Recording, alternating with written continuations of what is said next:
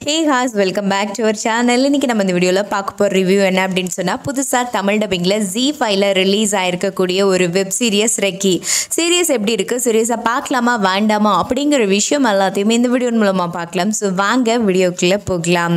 Recce two thousand twenty டூவில் Tamil டப்பிங்கில் release ஆகிருக்க ஒரு crime thriller web series அப்படின்னு சொல்லலாம் இந்த சீரியஸ் பார்த்தீங்க அப்படின்னா இப்போ ஜி ஃபைவ்ல அவைலபிளில் இருந்துட்டுருக்கு ஸோ இந்த சீரியஸுடைய ஒன்லைனர் ஸ்டோரி என்ன அப்படின்னு சொன்னால் ஆந்திர பிரதேசத்தில் ஒரு கிராமத்தில் ஒரு எரிந்த டெட் பாடி ஒன்று கிடக்குது.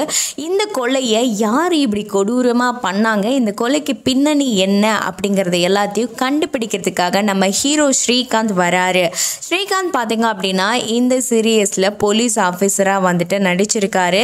ஸோ ஹீரோ ஸ்ரீகாந்த் பார்த்தீங்க அப்படின்னா அவரோட ஸ்மார்ட்னஸை யூஸ் பண்ணி எப்படியெல்லாம் இந்த கேஸை கண்டுபிடிக்கிறாரு அப்படிங்கிறது தான் இந்த சீரியஸோட முழு ஸ்டோரியுமே இந்த சீரியஸில் பார்த்தீங்க அப்படின்னா டோட்டலாக ஆறு எபிசோட்ஸ் இருந்துகிட்ருக்கு ஒவ்வொரு எபிசோட்ஸுடைய டோட்டல் டூரேஷன் பார்த்தீங்க அப்படின்னா முப்பது நிமிஷங்கள் வரைக்கும் இருந்துகிட்ருக்கு இந்த சீரீஸுடைய பாசிட்டிவ்ஸ் என்ன நெகட்டிவ்ஸ் என்ன அப்படின்னு சொல்லி பார்த்துலாம் இந்த சீரீஸில் பார்த்தீங்க அப்படின்னா ஸ்ரீகாந்தோடைய ஆக்டிங் வேற லெவலில் இருந்துகிட்ருக்கு அப்படின்னு சொல்லலாம். அது மட்டும் இல்லாமல் இந்த சீரீஸில் நடிச்சிருக்கக்கூடிய ஒவ்வொரு ஆர்டிஸ்டுடைய பெர்ஃபார்மன்ஸுமே பார்த்தீங்கன்னா பார்க்குற அளவுக்கு நீட்டாக ரொம்ப நல்லாவே பண்ணியிருக்காங்க அப்படின்னு சொல்லலாம்.